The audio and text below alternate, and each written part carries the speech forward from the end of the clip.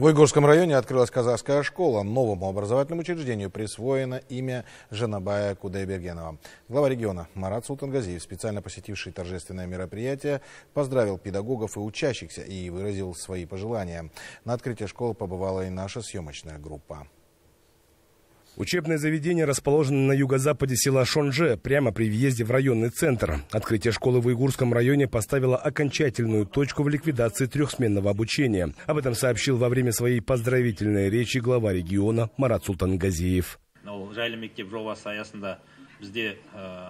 Это важнейший шаг по поддержке развития приграничных территорий, в создании наиболее комфортных условий для развития образования и воспитания подрастающего поколения, получения ими качественных знаний. Самое важное – решена проблема трехсменного обучения. В рамках реализации проекта «Комфортная школа» для решения этого вопроса в области построить 53 школы.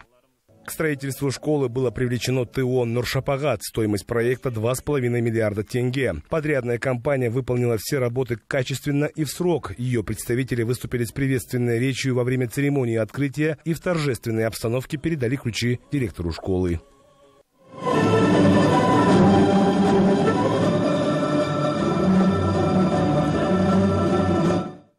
Традиционном разрезании ленты приняли участие Аким области и Аксакалы района. Гости мероприятия осмотрели учебные классы. Общая площадь образовательного учреждения 10 тысяч квадратных метров. Он рассчитан на 900 ученических мест. Здесь созданы все условия для получения качественного образования.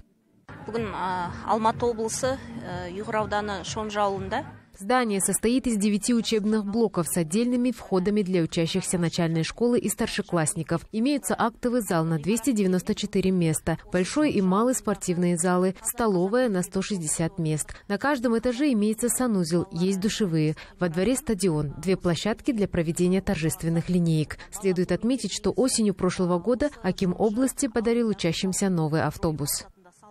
С вводом в эксплуатацию данного объекта образования в регионе сократилось количество трехсменных школ. В целом, по словам специалистов, в ближайшие три года в Алматинской области эта проблема будет полностью решена.